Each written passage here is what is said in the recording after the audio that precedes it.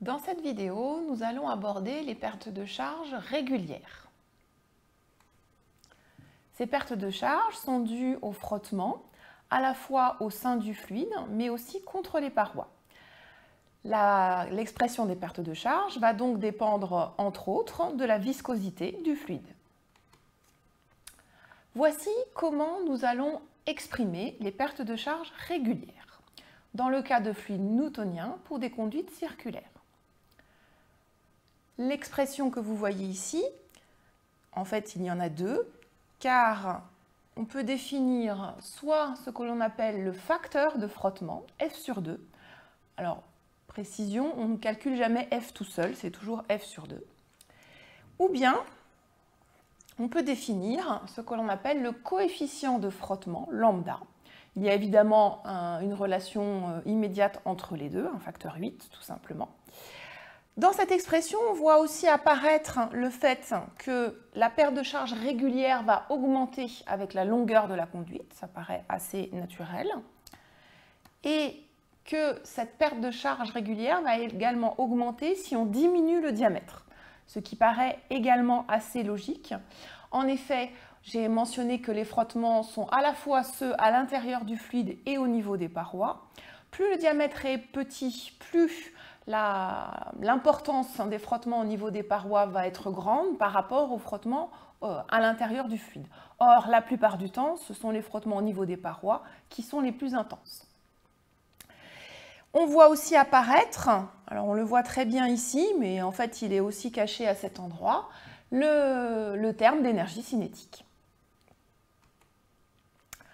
Alors, première euh, partie, on va voir comment expliciter soit le facteur de frottement, soit le coefficient de perte de charge, euh, lorsque l'on est en régime laminaire, c'est-à-dire pour un nombre de Reynolds inférieur à 2000.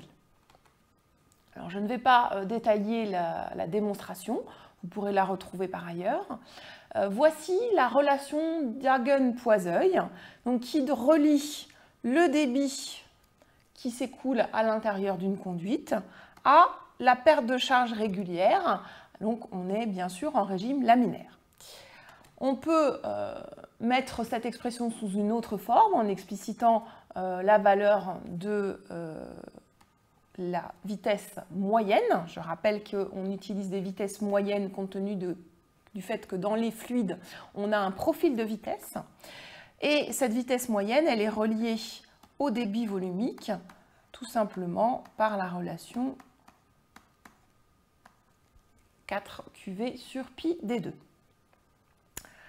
Alors, si on identifie cette expression avec celle que j'ai présentée juste avant, on peut euh, remarquer que le facteur de frottement sera égal à 8 sur Reynolds ou que le coefficient de frottement sera égal à 64 sur Reynolds.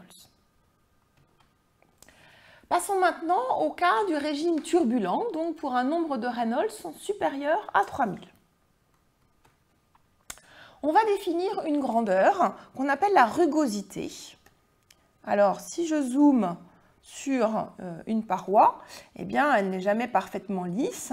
Elle va avoir des aspérités qui sont liées à des problèmes d'encrassement, des tas de surface, etc. Et en fait, la hauteur moyenne des aspérités au niveau de la surface de la paroi est appelée rugosité et on la notera petit e. Voici quelques ordres de grandeur. On voit que euh, la rugosité est très faible pour des tubes de verre ou de cuivre. Elle sera euh, plus importante pour des tubes d'acier et encore plus importante pour des tubes en fonte. On voit aussi que l'état de surface va, euh, ou l'état disons général de la conduite va avoir un impact sur la valeur de la rugosité. Par exemple, pour un tube en acier, vous voyez qu'on passe d'une valeur euh, de 5-10-2 mm pour un tube neuf à plusieurs millimètres lorsque l'on a un tube encrassé, ce qui part par exemple par des dépôts de calcaire ou d'autres choses. Nikuradze, alors vous, pourrez retrouver différentes orthographes de son nom. Euh, il, est d'origine russe et donc euh, on a traduit son nom par différentes orthographes. A réalisé des expériences euh, en garnissant les tubes, des tubes de sable qui est collé à l'intérieur de la paroi et ce sable a été soigneusement calibré avant de réaliser l'expérience. Grâce à de nombreuses expériences, il a pu relier le coefficient de perte de charge lambda au nombre de Reynolds qui apparaît ici en fonction de la rugosité. Alors c'est une notation un peu particulière parce que ce n'est pas du tout une publication en français ni même en anglais. Euh, en fonction de la rugosité, donc en fait ce sont les différentes courbes que l'on voit ici pour des, valeurs de rugosité différentes. Euh, on voit que ceci se passe au niveau de la transition entre le régime laminaire et le régime turbulent. Vous voyez qu'il se passe un phénomène euh, assez euh, euh, intéressant et pas forcément très facile à représenter par des équations. Alors, Moody a rassemblé sur son diagramme toutes les équations qui permettent de représenter la valeur du coefficient de perte de charge ou du facteur de frottement euh, du coefficient de frottement pardon, ou du facteur de frottement sur un même diagramme. Alors voici ce diagramme. Donc ici c'est la version où on a en, ordonnée le facteur de frottement F sur 2. On a dans tous les cas le nombre de Reynolds en abscisse et dans cette représentation on a ce qu'on appelle la rugosité relative petit e sur grand R, grand R étant le rayon euh, de la conduite, qui est euh, représenté ici avec les différentes courbes que l'on voit euh, à différents endroits ici pour donc différentes valeurs de cette rugosité relative. Alors, on va retrouver sur ce diagramme de Moody la loi qui représente le régime laminaire, donc cette droite décroissante en échelle logarithmique. Peut-être avez-vous remarqué que tout à la fois sur l'axe horizontal et sur l'axe vertical, euh, nous sommes en échelle logarithmique. Donc on a euh, pour les nombres de Reynolds inférieurs à 2000 la, droite qui correspond au régime laminaire.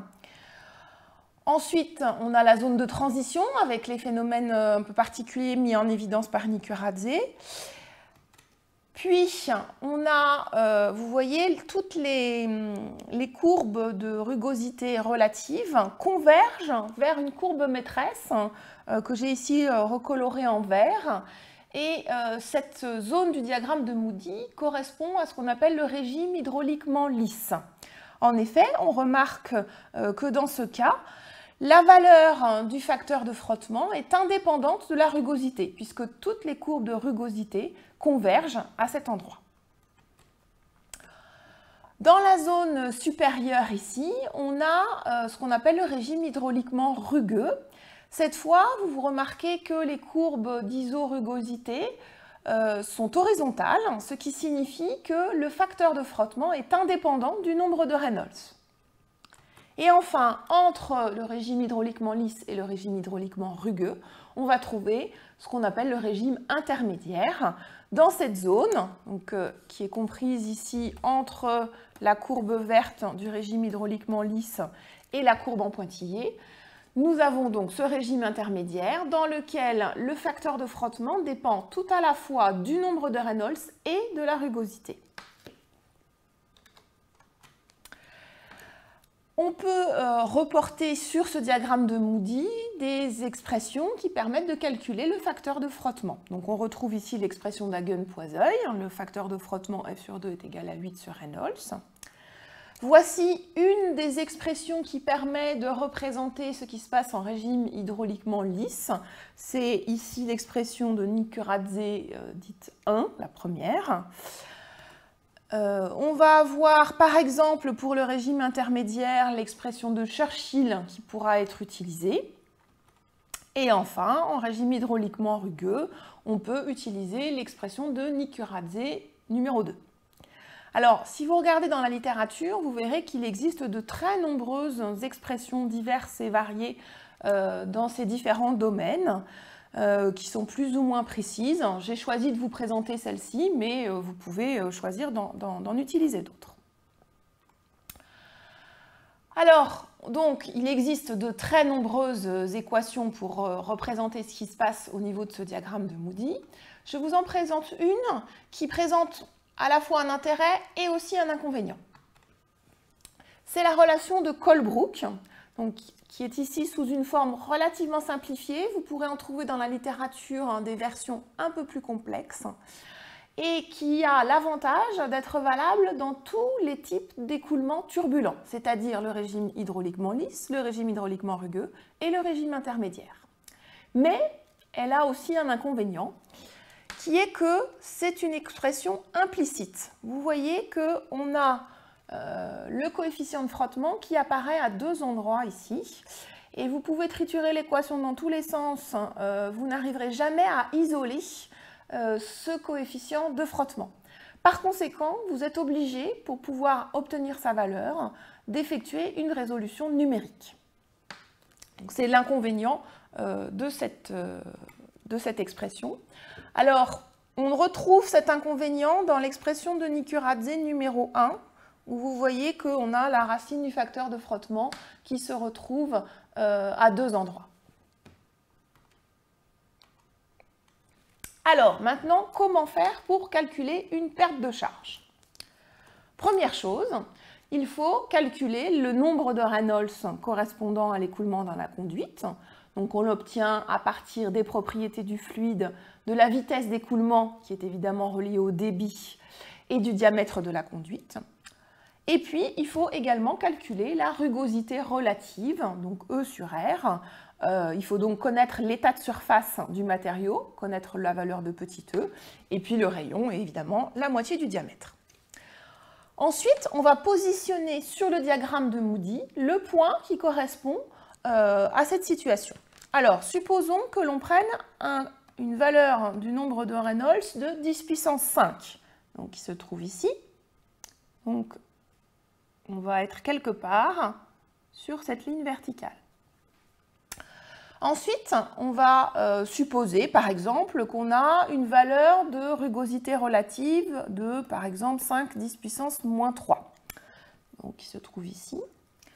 Donc, on se trouve quelque part sur la courbe d'isorugosité relative correspondant à 5 10 puissance moins 3. Alors faites vraiment bien attention, c'est une erreur classique. Euh, compte tenu du fait que les valeurs hein, d'isorugosité relative sont notées sur le côté du diagramme, en regardant un peu trop vite, on peut euh, confondre cela avec euh, une coordonnée verticale. Et donc, il faut bien suivre toute la courbe. Et donc ici, elle va remonter. Alors, on a obtenu à l'intersection entre la verticale correspondant au nombre de Reynolds et la courbe iso-relative un point qui correspond au point de fonctionnement. Et donc, on va pouvoir lire cette fois-ci sur l'axe des ordonnées une valeur approchée du facteur de frottement. Donc, dans cet exemple, le facteur de frottement a une valeur d'à peu près, on va dire, je pense, à peu près 3,3 10 puissance moins 3. Donc vous voyez que le diagramme de Moody permet d'obtenir une estimation du facteur de frottement directement par lecture graphique. On peut aussi, euh, grâce à ce diagramme de Moody, identifier le régime dans lequel on est en train de travailler. En fonction de la position du point ici, on va pouvoir remarquer que, sur cet exemple, on se trouve dans la zone du régime dit intermédiaire. Et on va pouvoir, du coup, choisir une corrélation adéquate, par exemple la relation de Churchill, mais on pourrait en utiliser d'autres, pour obtenir une valeur plus précise euh, pardon, du f sur 2. je ne l'ai pas en tête évidemment, mais grâce par exemple à l'équation de Churchill, vous pouvez obtenir cette valeur. Vous savez désormais comment faire pour calculer une perte de charge régulière. Vous aurez l'occasion de vous exercer à travers des exemples de diversité croissante euh, qui sont disponibles au niveau de ce module.